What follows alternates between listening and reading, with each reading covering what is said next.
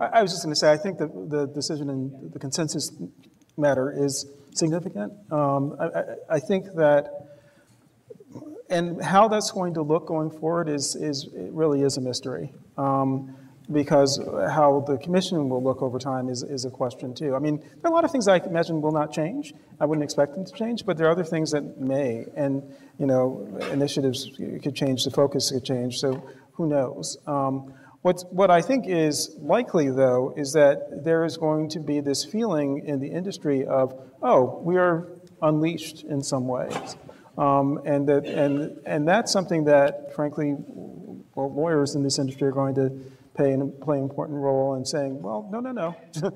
You know, a day has passed and that's not enough for you to think that. And let's just make sure that we think carefully about what we're doing.